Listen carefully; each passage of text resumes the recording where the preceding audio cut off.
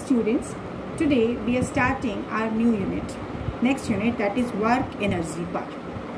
We have studied the concept of work in class 9 also. So that concept we will use here. First of all, let we understand the concept of work. See, what is work? If I am writing on this notepad, this is a work. You are studying, you are reading something, you will say that we, you get exhausted, you may do work.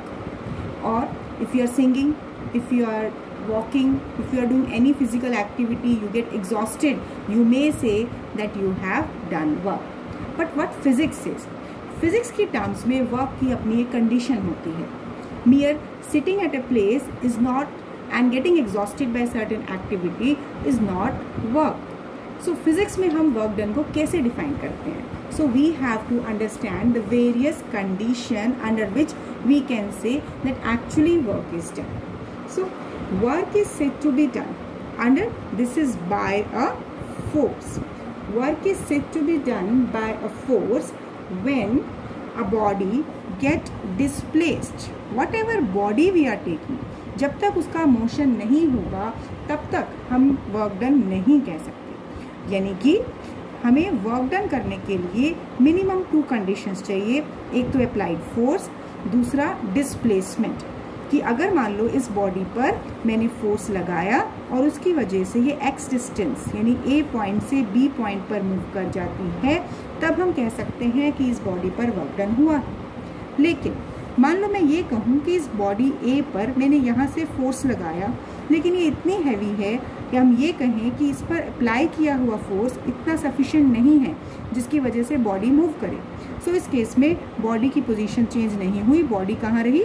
Stationery so so, उस case में the person applying force that will get exhausted so what that person will say that he has done work but still body has not move but physics does not consider it a work because for physics we require two condition first is the force second is the displacement that means motion so that's why work can be said that work is said to be done by a force. When a body is displaced through some distance in the direction of force applied.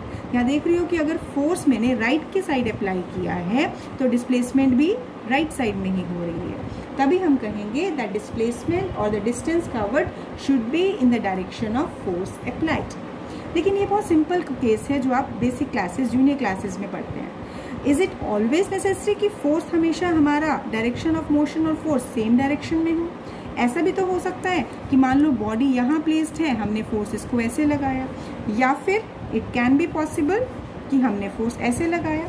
May be we are pulling something we may be we are pushing something with the help of string as you can see suppose there is a toy and a child is carrying it with a string अब string से अगर इसे pull कर रहा है तो आप देख रहे हो जब पुलिंग में ये फोर्स कैसा लग रहा है? किसी एंगल पे लग रहा है? यानी ये हॉरिजॉन्टल डायरेक्शन में नहीं लग रहा। डिस्प्लेसमेंट ऐसे हो रहा है। लेकिन फोर्स कहाँ लग रहा है? इस इंक्लाइन डायरेक्शन में हो रहा है। तो उस केस में हम वर्क डन को कैसे डिफाइन करेंगे? Now this point we have to understand this is a new concept क्योंकि यहाँ पर अब हम फोर्स को किसी एंगल पर लेके चल रहे हैं। तो इसके लिए हम एक कंडीशन लेते हैं let theta be the angle, which force makes with the positive X direction मान लो किसी भी हॉरिजॉन्टल के साथ हम कहें कि जिस डायरेक्शन में फोर्स लग रहा है, वो हॉरिजॉन्टल डायरेक्शन के साथ थीटा यानी कोई एंगल बनाता है। तो उस केस में सबसे पहले हमें दो पॉइंट समझने होंगे कि हमारा, हमारी बॉडी ए से बी पॉइंट मान लो एक्स डिस्टेंस कवर करती है तो उस केस में उस बॉडी पर लगने वाला फोर्स कौन सा है? यानी कि जिस डायरेक्शन में मोशन है उस डायरेक्शन में फोर्स का कौन सा कंपोनेंट उसे मोशन कराता है तो इसको स्टार्ट करने से पहले इस वर्क डन के कॉन्सेप्ट से पहले सबसे पहले हम उसी रेजोल्यूशन के कॉन्सेप्ट को रिवाइज करेंगे जो हमने वेक्टर में इंट्रोड्यूस किया था force this force can have two rectangular components, two perpendicular components. So if I will take this component, yes, कौन सा component होगा? This will be cos component. कैसे पता चला? क्योंकि horizontal के साथ जो एंगल होता है, उस फैक्टर का, उस फोर्स का horizontal के साथ component हमेशा cos होता है यानी कि कोई भी वेक्टर कोई भी फोर्स किसी लाइन के साथ, चाहे वो हॉरिजॉन्टल हो, चाहे वर्टिकल हो, उसके साथ जो एंगल बनाता है तो वो कंपोनेंट हम कॉस कंपोनेंट लेते हैं तो परपेंडिकुलर कंपोनेंट क्या हो जाएगा F sine theta right so so, force के दो कंपोनेंट हो गए along X axis along Y axis अब देखिए जो फोर्स का perpendicular component F sine theta है क्या हमारी बॉडी ऊपर मूव कर रही है? नहीं. हमारी बॉडी कहाँ जाएगी? मान लो ये चाइल्ड जब इस टॉय को स्ट्रिंग की हेल्प से पुल कर रहा है तो बॉडी कहाँ जा रही है? यहाँ पर मूव कर रही है इस फ्लोर के क्रॉस बॉडी ऊपर तो नहीं जा रही है. तो हम ये कहेंगे कि इसका मतलब एफ़ साइन थीटा कंपोनेंट की वजह से कोई भी वर्क डन नहीं हो रहा है क्योंकि बॉडी ना तो ऊपर जा रही है ना ही नीचे जा रही है। तो उस केस में सो इट मीन्स कि एफ़ कॉस थीटा कहाँ लग रहा है? Along direction of displacement body कहाँ से कहाँ मूव कर रही है? It is moving from A to B so from A to B that is along horizontal component of force is F cos theta you can write this as f cos और F X so now, here you will take that work will be done by the applied force by the component of force that is acting along direction of motion multiplied by the displacement basic definition जो अभी तक आपने study किया है, हम यही कहते हैं कि work done is equal to product of force and displacement अब यहाँ हम क्या लेंगे? जब फोर्स इंक्लाइन है तो फोर्स का वो कंपोनेंट जब डायरेक्शन ऑफ़ मोशन की डायरेक्शन में है। तो अब इसे कैसे लिख सकते हैं? F X cos theta so it means work done by the force is a product of force, product of force, this force in the direction of displacement and magnitude of displacement. तो अगर हम इस point को देखें तो इससे हमें क्या पता चलता है? This work done is taken as dot product of F and X that means force and displacement X I have taken you can use D S any symbol you can use so here we have taken we have understood कि when force is inclined at some angle, so at that point work will be done by the same applied force but by the component of force along the direction of displacement. So in short you can say this is the mathematical form of work done. This is the complete definition of work done. It is taken as the dot product of force and displacement as work is dot product of two vector quantity so it will be a scalar quantity. Here result obtained will be a scalar. So i hope this is clear to you that how we have attained this force multiplied by displacement that is f dot s as work done. Now if we have to define unit of work done basically there are two categories of its unit. One is absolute unit and second is gravitational unit. If you recall in unit 1 when we have given you the characteristics of SI system then I have used this term absolute unit and gravitational unit. Absolute system gravitational system. So here we will define absolute unit and gravitational unit of work.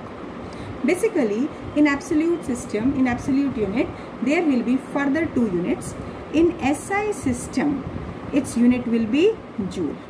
This J small j or symbolically it is capital J. Now, work done is said to be 1 joule when as we know work done is force into displacement That's the basic definition.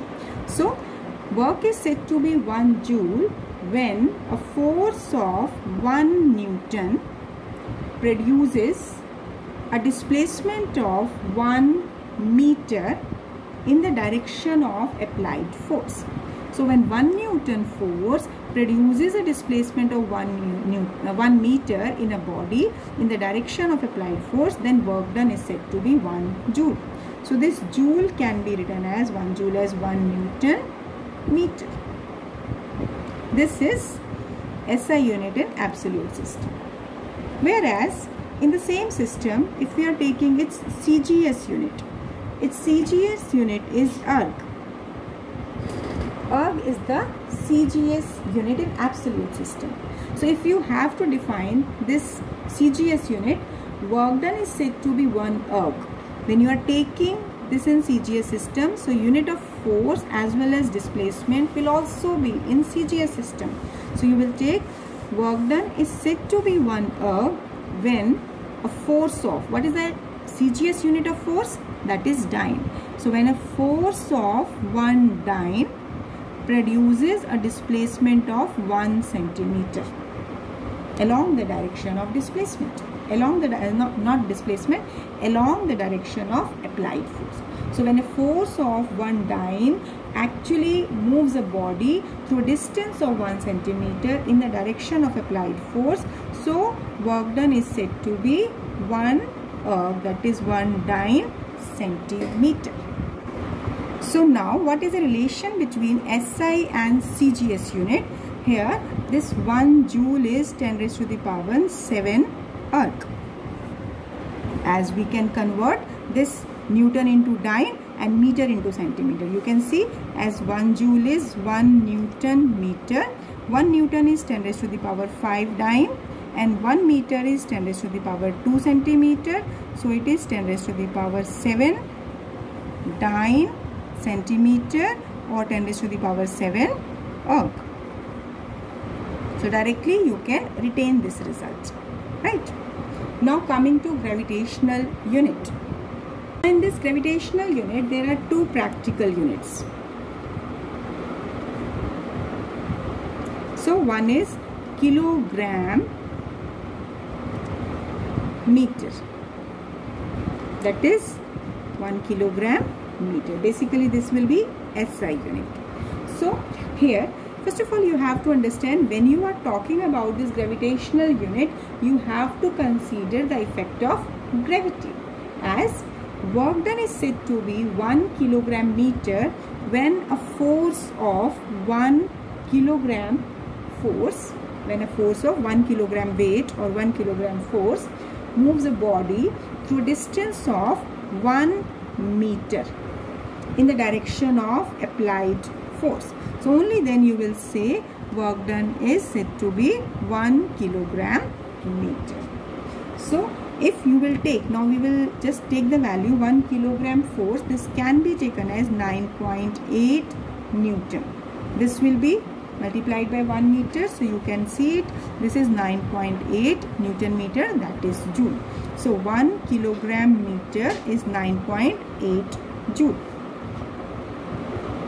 Now, if you will say that this kilogram force, when we are taking this in terms, we simply say that force is mass into acceleration. अगर आपको यहाँ थोड़ा सा doubt है तो मैं दोबारा से इसको हाईलाइट कर देती हूँ। हम फोर्स के यूनिट में इसको बताते हैं। फोर्स होता है मास इनटू एक्सेलरेशन अब ग्रेविटेशनल यूनिट में हमें एक्सेलरेशन ड्यू टू ग्रेविटी के इम्पैक्ट को बताना होता है तो हम यहाँ पर बेसिकली ए को हम जी के इक्वल कंसीडर करते हैं और बॉडी का मास हम यूनिट लेके चलते हैं। तो यहाँ पर हो जाता है ये 9.8 न्यूटन तो यहीं से हमने वन किलोग्राम फोर्स की वैल्यू सब्सटीट्यूट की है। right? So this is about your SI unit that is kilogram meter. Now similarly there is another unit that is in CGS system that is gram centimeter. So this gram centimeter work done is said to be 1 gram centimeter when a force of 1 gram weight or 1 gram force make a body to move through a distance of 1 centimeter in the direction of applied force. Same definition but here units we are taking to be as per CGS system. So now 1 gram force. अब अगर हमें इसको CGS में convert करना हो तो हम यहाँ पर अगर हम G की value CGS system में put करेंगे तो वो होती है 980 सेंटीमीटर पर सेकेंड स्क्वायर तो इसकी वैल्यू पुट करने के बाद one kilogram force this will be 980 dyne so here 1 gram centimeter this will be 980 oh when you will substitute this value So it means here we have obtained practical units 1 kilogram meter and 1 gram centimeter. Now what is the relationship between these two units 1 kilogram meter and 1 gram centimeter? As 1 kilogram meter this can be taken as 10 raised to the power 3 gram and 1 meter is 10 raised to the power 2 centimeter. So it is 10 raised to the power 5 gram centimeter. So this is the relationship between two units of gravitational system and this is the relationship between two units of absolute system that is the units are of each are of work done. So we have given a basic definition then work done is given by F dot S it's a single S not double dot. So now it is F S cos theta now in nature of work done, we have to study in what condition work done is positive, negative or zero. So basically, first of all, we will discuss what is positive work done. Work done is said to be positive. See, here, if angle between force applied and direction of displacement is acute, that means if theta is less than 90 degree, that means you can say if it is acute angle in that particular case cos theta it will be positive we can put any value which is less than 90 degree cos 30 cos 45 cos 60 or any other value if you will take and you will check its value it will be positive. It is not negative. So as it is positive so work done will be positive. So in simple terms you can say that if force is applied in such a way that this is the direction of displacement and angle between direction of force applied and direction of displacement is theta which is acute angle which is less than 90 degree work done will be positive. Now what is the practical utility of this positive work done? Suppose if you are taking a very simple example that when a body is falling vertically downward from certain height like this is height h right when a body falls freely under gravity. You can see here suppose a body is falling downward right? Covering a distance h. Now work done by gravity right? This gravity that means force. Suppose m is the mass of the body and it is falling downward. So क्या force लगेगा जिससे body नीचे आएगी? That will be the force of attraction of earth that is by gravity so it will be F into S into cos theta अब gravitational pull कहाँ लगेगा? Downward direction में। तो कोरस्पॉन्डिंगली फोर्स कितना होगा? M into A and A will be equal to G because it is following under gravity M G into H what is the angle between force यानी direction of force that is gravity and displacement force की direction weight की direction weight यूँ कह सकते हैं क्योंकि इस condition में जो फोर्स ऑफ़ ग्रेविटी है वो एक्चुअली वेट के इक्वल ही है। So angle between this force of gravity and direction of displacement both is are parallel so angle is zero degree so that means you will say here that work done by gravity is positive so, this positive work done or negative work done or any of its nature, this can be asked in conceptual problems.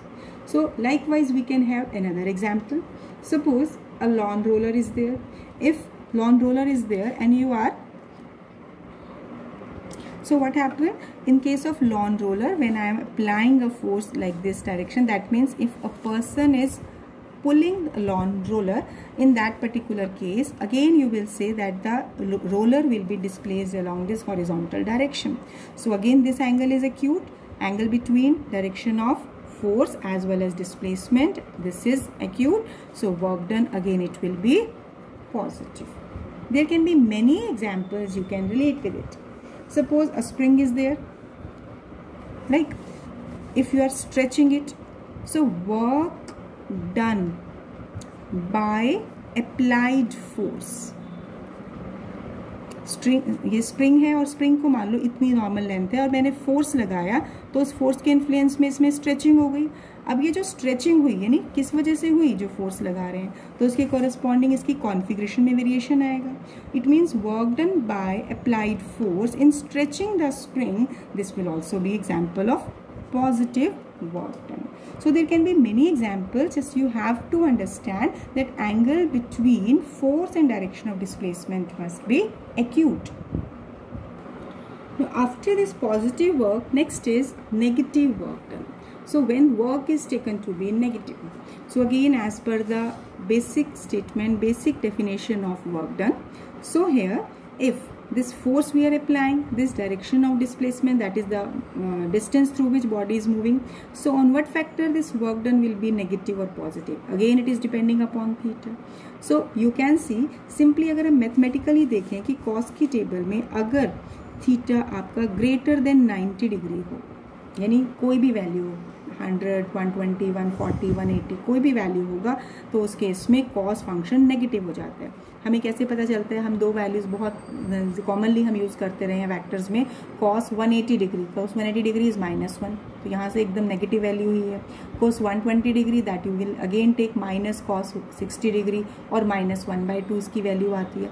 It means when angle is greater than 90 degree that means if angle is obtuse in that particular case you will say cos function will have negative value अब cos theta is negative then only you can say this work done will also be negative so this is just the practical aspect कि किस value के basis पर हम work done को negative कहते हैं now what are its examples अब देखिए एग्ज़ाम्पल जब हम शुरू कर रहे हैं तो सबसे पहले अभी हमने एक एग्ज़ाम्पल लिया था कि when a body is thrown vertically downward अब अगर हम कहें कि when a body is thrown vertically upward through a height of H मान लो हम ए पॉइंट से बी पॉइंट तक बॉडी को थ्रो करते हैं, जिसकी हाइट है H but in the it is thrown in the upward direction so in that particular case this motion will be opposed by gravity क्योंकि ग्रेविटी तो हमेशा इसको डाउनवर्ड पुल करेगी।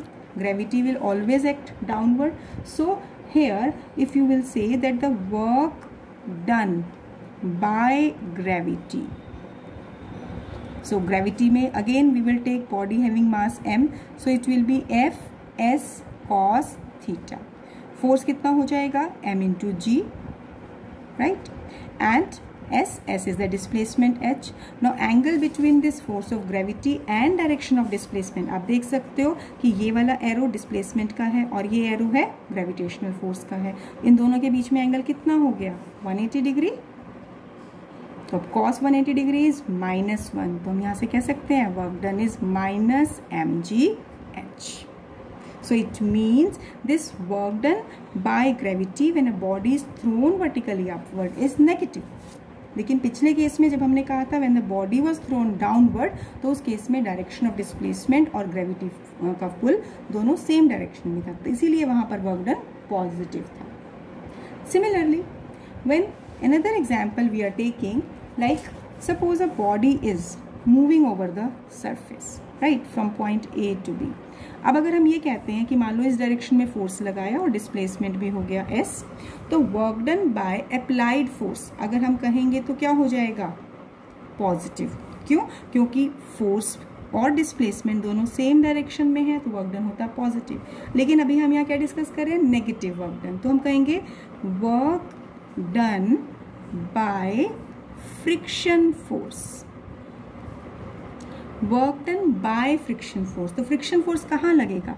It always act opposite to direction of applied force direction of displacement तो यहाँ पर friction force जो लग रहा है, अब इसमें देखिए फ्रिक्शन फोर्स लग रहा है बैकवर्ड डायरेक्शन ऑफ़ मोशन है फॉरवर्ड यानी कि friction force F one and direction of displacement this direction तो अब इनके बीच में एंगल कितना है? Again 180 degree so again here work done will be negative क्योंकि अगर एंगल 180 डिग्री है cos 180 degree negative it means minus one So it means you can say that work done by friction force when a body move over the surface is negative. यहाँ पर सबसे important point हमें देखना है, हम किस force का influence ले रहे हैं, किसका इफ़ेक्ट कर रहे हैं। सेम केस में अगर हम कहें work done when a body moving over the surface it will be incomplete हम इसको डायरेक्टली नहीं कह सकते हैं कि ये पॉजिटिव है या नेगेटिव है। सबसे इंपॉर्टेंट पॉइंट से यही समझने की है।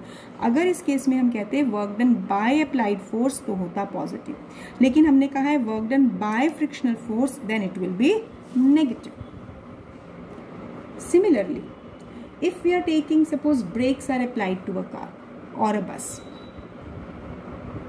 so now work done by brakes so when brakes are applied on any moving vehicle so work done by brakes will always be negative because it is retarding its motion so here you can see that what force we are talking about. एक और example लेते हैं। अगर हमारे पास मान लो charges की अगर हम बात करें बेसिक कॉन्सेप्ट आपको मालूम है कि मान लो एक पॉजिटिव चार्ज को दूसरे पॉजिटिव चार्ज के कांटेक्ट में लाते हैं। A positive charge is brought closer to positive charge तो अब क्या होगा? इनके बीच में रिपल्सिव फोर्स होगा। Electrostatic force of repulsion will be there so basically work done by electrostatic force of repulsion electrostatic क्योंकि हम यहाँ पे चार्जेस की बात कर रहे हैं तो यहाँ पर हमारे पास रहेगा इलेक्ट्रोस्टैटिक फोर्स ऑफ़ रिपल्शन तो इन दोनों चार्जेस के बीच में फोर्स ऑफ़ रिपल्शन वर्क करेगा तो जिसकी वजह से दोनों की डिस्प्लेसमेंट ऑपोजिट डायरेक्शन में होगी तो यहाँ पर भी वर्क डन क्या होगा? Negative so I am repeating तो whenever you have to check whether work done is positive और negative first of all see what influence we are talking about किस फोर्स की हम बात कर रहे हैं। कई बार एक केस ऐसा हो जाता है जिसमें हम कन्फ्यूज़न में गलत आंसर दे देते हैं, जिसमें आपके पास, जैसे अभी हमने ग्रेविटी का इम्पैक्ट देखा, अगर किसी बॉडी को हमने अपवर्ड थ्रो किया या डाउनवर्ड थ्रो किया तो इसमें कौन से फोर्स की बात हो रही है? अब अगर इसी केस में, मान लो जिस केस में हमने बॉडी को अपवर्ड थ्रो किया और हम कह रहे हैं work done by applied force तब वर्क डन होगा पॉजिटिव क्योंकि हमें तो मिनिमम फोर्स अपवर्ड लगाना है बॉडी को ऊपर ले जाने में तो मिनिमम ग्रेविटेशनल फोर्स के इक्वल हमें अपवर्ड वर्क डन करना पड़ेगा अपवर्ड फोर्स अप्लाई करना पड़ेगा जिसके कॉरेस्पॉन्डिंग वर्क डन हो जाएगा। सो so, ये तो था positive and negative work done था। Now after that next we have to study zero work done now when work is said to be zero it means no work is done अगर हम इस definition से देखें तो कौन कौन सी possibility हो सकती है? पॉसिबिलिटी है कि मान लो अगर बॉडी पर कोई भी फोर्स नहीं लगे। अगर बॉडी पर फोर्स लग ही नहीं रहा तो करस्पॉन्डिंगली वर्कडन होगा ही नहीं। या फिर हम कहें कि बॉडी के ऊपर फोर्स तो लग रहा है, लेकिन कोई भी डिस्प्लेसमेंट नहीं हो रहा है। उस केस में भी मान लो कोई वॉल है, अगर उस पर बहुत सारा फोर्स लगा रहे हैं, फिर भी वो अपनी पोजीशन से हिल नहीं सकती, क्योंकि वॉल फिक्स्ड है या कोई हैवी टेबल है। चेयर है, उस पर कितना भी फोर्स लगा लें, लेकिन उसकी पोजीशन अगर मूव नहीं कर रही चेंज नहीं हो रही है तो डिस्प्लेसमेंट ज़ीरो है। तो उस केस में भी मैथमेटिकली आपको पता चलता है कि वर्क डन ज़ीरो होगा। तो ये तो चीज़ें हमें देख के पता चलती है कि इन तीन कंडीशन में से कोई एक भी कंडीशन अगर ज़ीरो होगी तो वर्क डन ज़ीरो होगा। तो सिंपल टर्म्स में we have discussed when force is zero work done will work will not be done when there is no uh, displacement no change in position even when the force is applied then you will say the work done will be zero what is the role of this cos theta now you can see that when this cos theta is zero cos की कौन से angle यानी कौन से angle पर cos function cos trigonometric function आपका zero होता है definitely it is at 90 degree क्योंकि cos zero one cos 180 minus one so it means cos 90 having zero value इसका क्लियरली इंडिकेशन है कि अगर हम ये कहें कि अगर फोर्स और डायरेक्शन ऑफ़ डिस्प्लेसमेंट एक दूसरे के परपेंडिकुलर हो जाए तो उस कंडीशन में वर्क डन क्या हो जाएगा? ज़ीरो क्यों? क्योंकि उस केस में कॉस 90 ज़ीरो हो जाएगा. So it means now you can say the work is set to be you can say that no work is done और work done will be zero if either no force is applied second, if force is applied but there is no displacement third you can say that if force is applied but perpendicular to direction of motion that means if body get displaced under the direction uh, sorry body get displaced along a direction perpendicular to direction of applied force यानी body कहाँ जा रही है force applied के perpendicular direction में जा रही है उस केस में भी वर्क डन नहीं होगा तो पहले हमें इसके प्रैक्टिकल एग्ज़ाम्पल समझने हैं। अब हम एक एग्ज़ाम्पल लेते हैं। मान लो कोई कुली है राइट right? अब coolie the person is carrying heavy weight over is head अब क्या होगा? यहाँ पर अगर हम देखिए इस पूरे कंडीशन को हम दो तीन तरह से डिफाइन कर सकते हैं। हम ये कहें कि कुली मूव कर रहा है तो कुली फोर्स लगा रहा है, जिसकी वजह से वो मोशन कर रहा है। अब लेकिन मैं अगर ये कह दूँ कि work done by gravitational force सबसे इंपॉर्टेंट पॉइंट है, हमें फोर्स समझना है। हम अप्लाइड फोर्स की बात नहीं कर रहे हैं। यहाँ स्टूडेंट्स कंफ्यूज करते हैं। ध्यान से समझिए। Work done by gravitational force work done by gravity तो ग्रेविटेशनल फोर्स कहाँ लगेगा? अगर पर्सन ने वेट यहाँ उठाया हुआ है तो वेट कहाँ लगेगा? डाउनवर्ड लगेगा ना, जितना भी वेट है। That will act vertically downward अब डायरेक्शन ऑफ़ डिस्प्लेसमेंट कहाँ है? हॉरिजॉन्टल डायरेक्शन में। तो अब देखिए, इन दोनों के बीच में एंगल कितना हो गया? 90 degree so work done will be zero work done zero कब हुआ? Work done by gravitational force और बाय ग्रेविटी राइट और if a person is carrying suitcase in is hand and then moving in on a road again in that case also work done will be zero so main role किसका हुआ? किस force की हम बात कर रहे हैं? दूसरा एग्ज़ाम्पल लेते हैं। मान लो, कोई बॉडी सर्कुलर पाथ में मूव कर रही है। एग्ज़ाम्पल तो आप जूनियर क्लासेस से भी देख रहे हैं। कोई भी बॉडी सर्कुलर पाथ में जब मूव करती है तो उस सर्कुलर पाथ में मूव करने के लिए उसको एक फोर्स चाहिए। वो फोर्स कौन सा चाहिए? सेंट्रिपिटल फोर्स जो कहाँ लगता है? सेंटर की तरफ़ लगता है। अब इस पर्टिकुलर पॉइंट पर डायरेक्शन ऑफ़ डिस्प्लेसमेंट कहाँ होगा? टेंजेंट होगा। अगर बॉडी इस सर्कुलर पाथ में मूव कर रही है, मान लो ये सर्कुलर आपकी anti clockwise direction of motion है तो डायरेक्शन इस पॉइंट पर डायरेक्शन ऑफ़ मोशन कैसे पता चलेगा? टेंजेंट टू दिस पॉइंट यानी ये डायरेक्शन ऑफ़ डिस्प्लेसमेंट होगी ए पॉइंट के लिए। अगर मैं बी पॉइंट ले लूँ तो इस पॉइंट पे डायरेक्शन ऑफ़ डिस्प्लेसमेंट होगी। तो अब अगर आप देख लो ए पॉइंट पर चेक करोगे तो फोर्स और डिस्प्लेसमेंट के बीच का एंगल हो गया 90 डिग्री सिमिलरली यहाँ देखोगे तो फिर ये फोर्स और डायरेक्शन ऑफ़ डिस्प्लेसमेंट का एंगल हो गया 90 डिग्री यानी कभी भी अगर सर्कुलर मोशन है तो उस केस में work done by this centripetal force will be zero so again you will say when uh, there can be some conceptual problems. If you will read conceptual problems from your reference book you will find many similar questions. Given a body is moving along circular path so what will be the work done by centripetal force?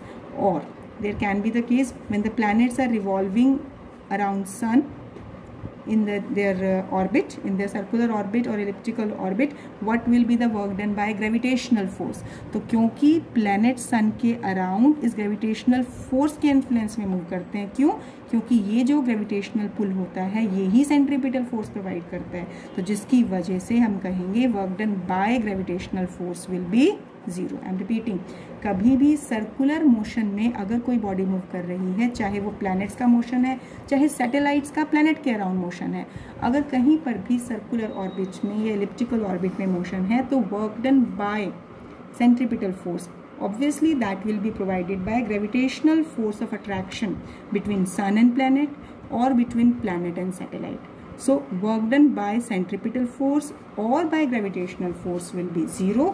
Why? Because direction of displacement and gravitational force are mutually perpendicular to each other. So now on the basis of all these three positive, negative and zero work done, let me discuss one numerical. Find work done by external force frictional force and gravitational force. On a body of mass 20 kilogram where coefficient of friction between body and the surface over which it is moving is 0.2 see here this is a block this is a body having mass 20 kilogram placed at point a and uh, uh, one more thing should be there when it is displaced through a distance of 10 meter so let it has to be moved to point b displacing through a distance of 10 meter अब इस case में body का mass given है distance given है तो हमें क्या क्या निकालना है वर्क डन निकालना है अंडर थ्री फोर्सेस एक तो अप्लाइड फोर्स के अंडर अप्लाइड फोर्स हम यहाँ पर लगा रहे हैं मान लो 10 newton it has been given in the statement. Now, this applied force is there. Frictional force frictional force backward direction में होगा let it be F one अब gravitational force gravitational force downward में होगा let it be F dash यानी इन तीनों के influence में हमें वर्क डन निकालना है। तो अब देखिए work done by applied force तो उस केस में सबसे पहले हम देखें अप्लाइड फोर्स है कितना? 10 न्यूटन एंड डिस्प्लेसमेंट कितनी है? 10 metre so work done by applied force this is अब देखिए applied force and displacement same direction में है तो एंगल हो गया ज़ीरो डिग्री फोर्स हो गया टेन न्यूटन डिस्प्लेसमेंट हो गया टेन मीटर तो वर्क डन हो जाएगा हंड्रेड जूल ये हो गया पॉजिटिव वर्क डन का एग्ज़ाम्पल अब अगर हम लें we have to calculate work done by this frictional force अब फ्रिक्शनल फोर्स के लिए सबसे पहले हम फ्रिक्शनल फोर्स की वैल्यू निकालें, क्या होती है? म्यू इंटू अब अगर बॉडी यहाँ प्लेस्ड है तो इसका वेट हो गया यहाँ पर एम जी राइट तो रिएक्शन रिएक्शन किसके इक्वल होगा? एम जी के इक्वल होगा ना? तो यहाँ पर फ्रिक्शनल फोर्स हो जाएगा म्यू एम जी म्यू की वैल्यू है पॉइंट टू मास कितना है? ट्वेंटी और जी है ten that means two by ten into twenty into ten so it will be forty newton तो फ्रिक्शनल फोर्स की वैल्यू आ गई. अब work done by this frictional force कितना हो जाएगा? This will be F one into displacement into cosine of the angle अब frictional force और डिस्प्लेसमेंट के बीच का एंगल कितना है? 180 degree so it is your 40 newton multiplied by displacement है 10 और कॉस कितना है? 180 डिग्री तो यहाँ पर ये वैल्यू हो गई 400 hundred into minus one this is minus four hundred joule so work done in this case is negative one more thing now we have to find work done by gravitational force now see gravitational force that is acting vertically downward and displacement is along the surface so an angle between force gravitational force f dash and displacement this is 90 degree so इस case में work done क्या होना चाहिए that will be zero let it be w double dash as gravitational force f is s into cos 90 Force कितना भी लग रहा हो, लेकिन फोर्स एंड डिस्प्लेसमेंट के बीच का एंगल 90 डिग्री है तो वर्क डन होगा zero so this numerical enable you to understand the basic concept of this positive work done this negative work done and this zero work done so today we have discuss basic concept of work nature of work done its unit now just go through all the concept carefully thank you have a nice day